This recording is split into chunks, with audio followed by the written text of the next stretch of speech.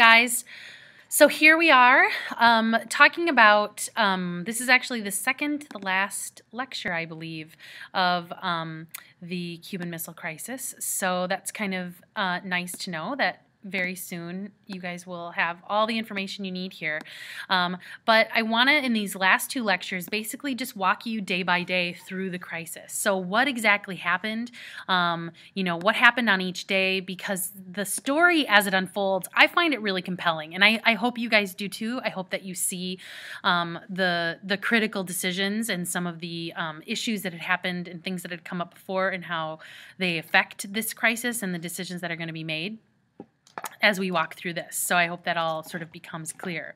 So I've already spoken to you guys about the um, U-2 plane flyover, the discovery of those missiles, and um, that it wasn't until actually two days later, ultimately um, on the 16th of October, that the president is informed. So let's pick up the story there. So each of these slides coming up here, many of these slides coming up here are going to have um, essentially a timeline for you. So let's follow along as we um, take a look at this timeline. So the first date uh, is October 16th. So, and as I mentioned, this is the day that the president, President Kennedy, uh, and his advisors, his closest advisors, are initially informed um, by the military, by members of the State Department, that there are weapons present on Cuba. The meeting takes place um, that includes not only the president's um, uh, most important representatives and um, advisors, but also uh, members of the military, as well as the Joint Chiefs of Staff. Keep in, keeping in mind, of course, the Joint Chiefs of Staff had um, an extraordinarily hawkish perspective on these things. It shouldn't then be a surprise to you to know that their very first piece of advice was to suggest to the president that they do a quick and a divisive strike on Cuba. Um, their the the number one benefit or um, sort of uh, military advantage that the US had at that time was the fact that the Soviets did not know that we knew they had missiles. And so um, that whole discussion involved, you know, first of all, excuse me, was not only about um, the need to get rid of the missiles, but to do it quickly um, before this, the Soviets and the Cubans found out. Um, Kennedy uh, and Bobby Kennedy specifically, as he was um, the the one who really wrote this story down. His brother um, did not have time to write his memoirs, of course, because he was assassinated in '63. So Bobby Kennedy took it upon himself to write extensively about these events. And Bobby Kennedy wrote that it was um, there that there was a lot of pressure coming from the Joint Chiefs. That John Kennedy felt that the Joint Chiefs um, weren't really willing to look at the dipl- diplomatic options. But again, keep in mind that Kennedy was fighting this legacy of his father of being kind of weak, being soft, and also being young. And um, nevertheless, Kennedy holds back from ordering a strike. Um, he tells the military, you know, we'll likely have to strike, but he does make the decision to pull together a group of men on his larger committee. They called uh, this group EXCOM or Executive Committee. And this committee was to meet in uh, secret to come up with various strategies for the president. Um, and so they meet in secret. And again, secrecy is of the utmost importance here because it was important not um, to have the the Cubans or the Soviets find out. And Washington being what it was at the, that time, there really were spies everywhere. So keeping this information secret was really quite critical. So this group, EXCOM, meets, and um, they are to come up with a plan or a series of plans to offer the president on how to deal with the crisis. The president, at the same time, has to put on this show for the American people. He has to put on this facade that, oh, he's going about his daily business, he's going on campaign trips. And so he reluctantly goes on a couple of different campaign trips over the next few days, um, trying not to alert the media to any kind of disruption or, or difficulty. And again, because of keeping this, the importance of keeping this secret. Um, so on the 17th, uh, the president again attempting to keep um, this crisis secret um, allows ExComm to meet to come up with some strategies. And then on the 18th, um, Kennedy already had pre arranged to meet with the Soviet ambassador, uh, Gromyko. And um, he takes that opportunity to very strategically ask the Soviet Union to clarify if they had any weapons of an offensive nature on Cuba. Now, of course, the president knew that they did have weapons of an offensive nature on Cuba, and uh, but the USSR, not knowing that the U.S. already knew that there were weapons, um, he denies it and um, further confirms for Kennedy, um, this the lack of trust, I suppose you could say that um, that their administration had in the Soviets at that time.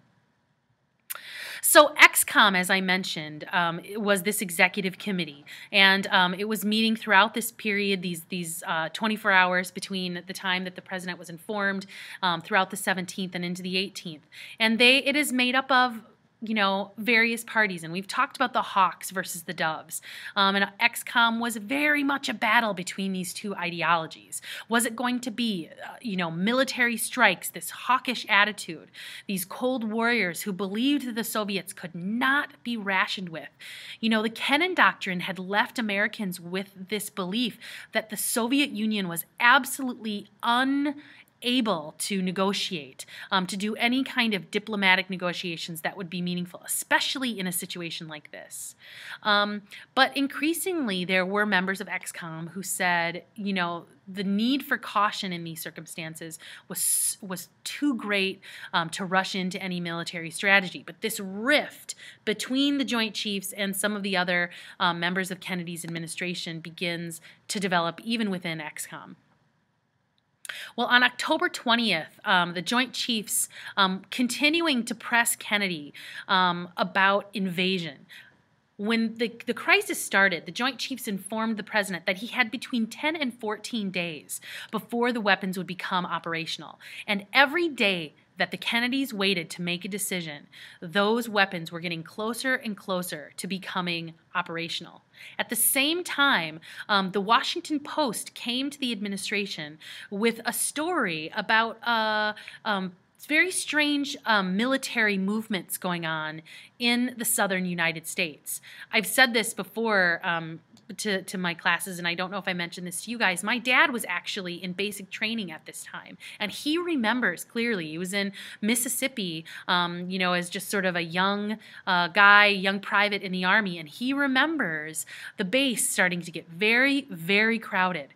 Lots of people from all over the country, um, military. Uh, um, convoys are bringing in um, hundreds, thousands of um, members of the U.S. military, as well as planes and other kinds of weapons, and amassing them in the southern United States. And it makes sense.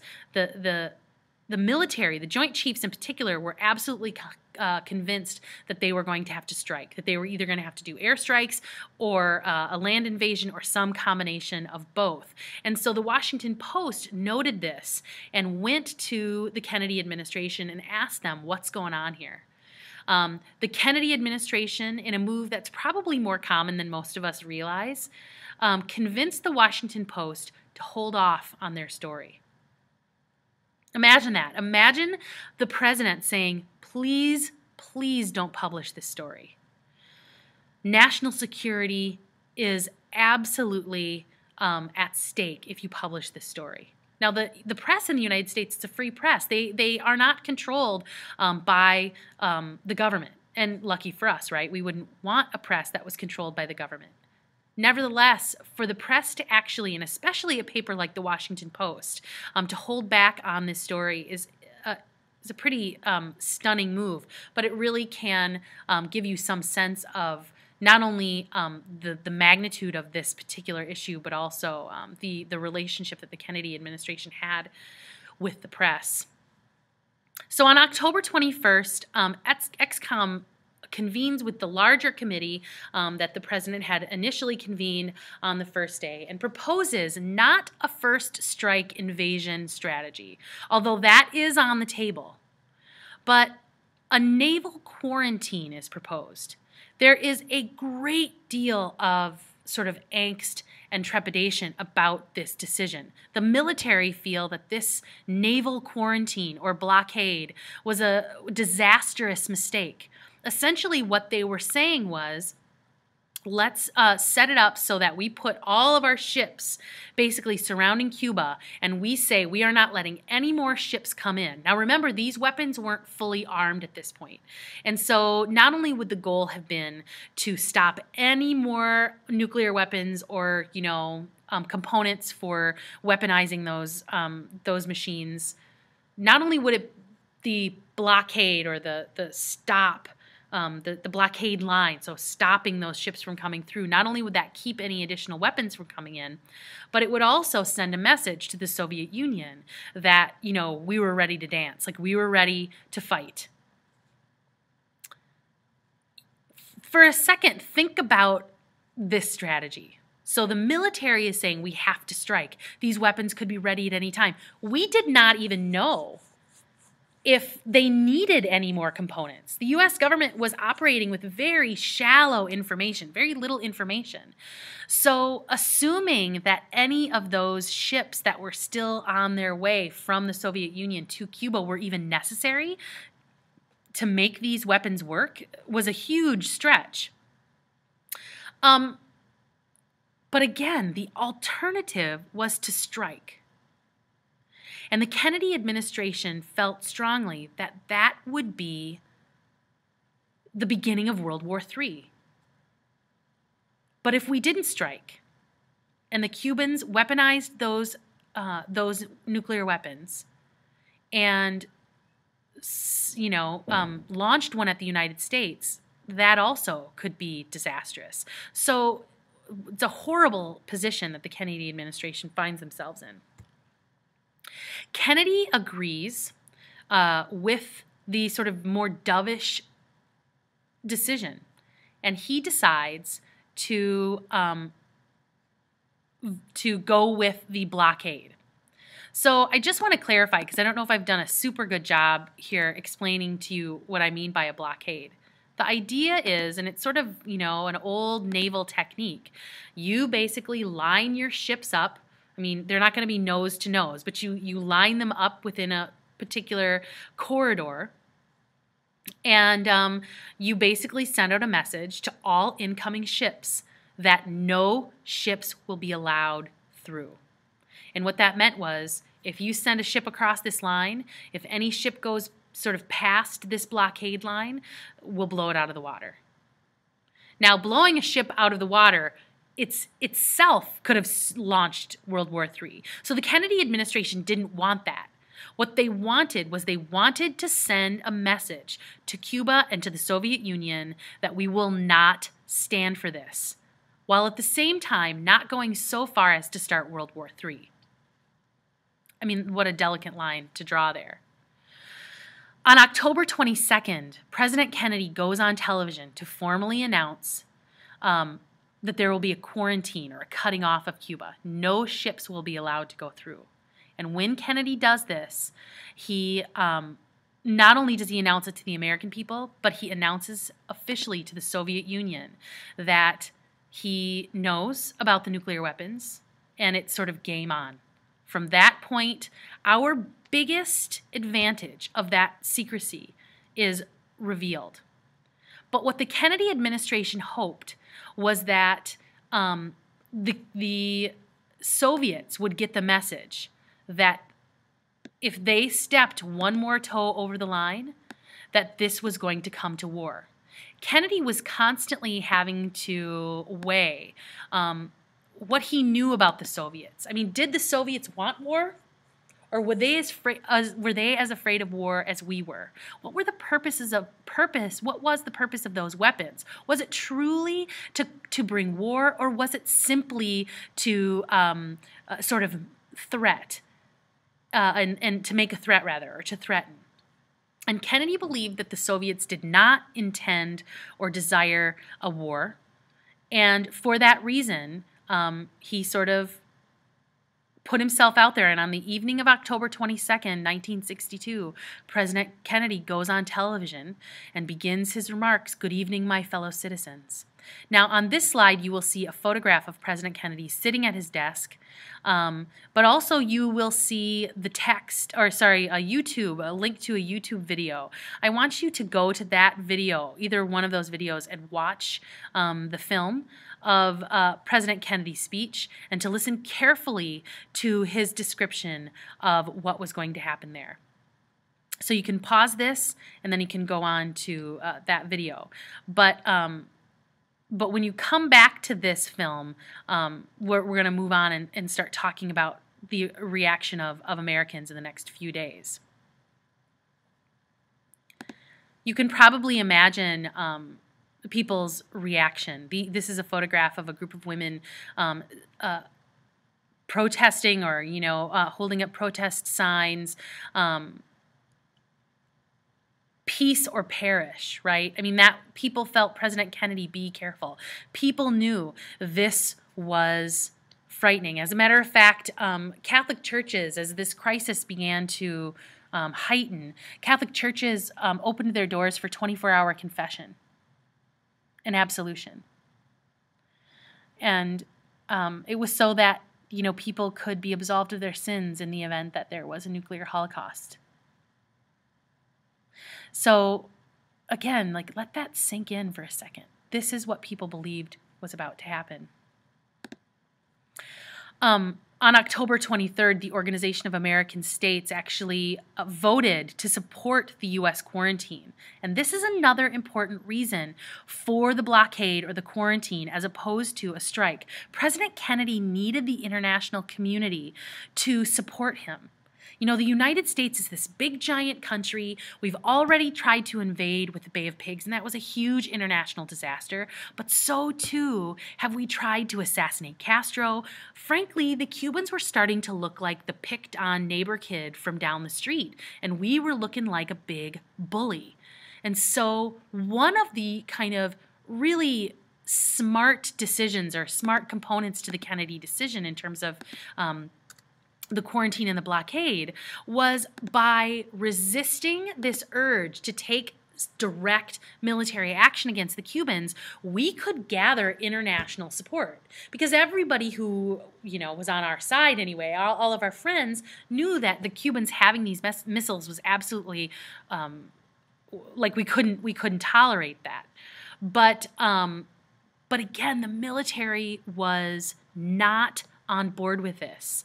And one of the signs of this was that the U.S. military raised the Defensive Readiness Condition, or DEFCON, from DEFCON 4 to DEFCON 3. Now, DEFCON is a system that was put in place during the Cold War in order to indicate like what level of military readiness our, our military forces were at. Now, DEFCON 4 is what we're at today. It's sort of the, you know, kind of like general alertness. But DEFCON 3 takes it up one more notch. And the defensive readiness um, condition is is a and especially it was at that time a very particular message um, and it sent a very strong message to the soviets that we were mounting for war. And according to some accounts, the Kennedy administration was was very angry that the military had raised the DEFCON level um, and potentially had signaled to the Cubans and to the Soviets that we were preparing for war. And this isn't what Kennedy wanted. He wanted the Cubans to just and everybody to just chill out. They wanted the blockade to work and for the um, Soviets to get into a negotiating position. And on October 24th, the quarantine itself begins. And it was, for the most part, successful. All ships except for one, which um, slipped through the boundary line, all of them stopped or turned around. And um, President Kennedy saw this as a success. You know, the one ship that you know um, got went through the uh, the the quarantine line may not have gotten the message, it may have mis- misunderstood, um, you know, where the line was, and so the Kennedy administration made a choice not to attack that ship.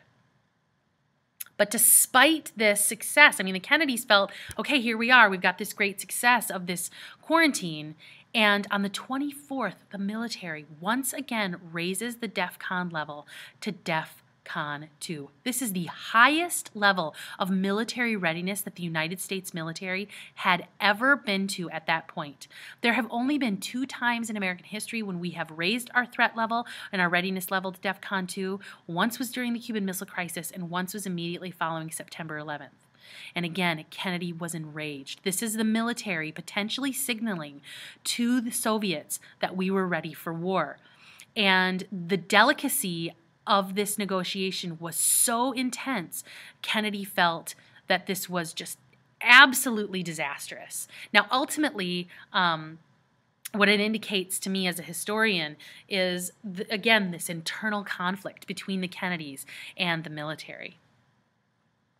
On the 25th, amidst all of this quarantine and all this tension um, between uh, the U.S. and the military, the Executive Committee, or ExComm, discusses the possibility of removing weapons that are currently in Greece and Turkey in exchange for weapons in Cuba. The argument against this was that you know you don't want to be trading missiles for missiles. You know, if you're if you're trading missiles in Greece and Turkey for missiles in Cuba, then all the Soviets have to do is threaten to put missiles, you know, in Argentina, and then what are we then what are we going to trade for? What if they threaten to, you know, put missiles in Mexico? Then what are we going to trade? Um, and so this notion of trading becomes. Uh, while it's floated by the administration, um, it definitely becomes controversial.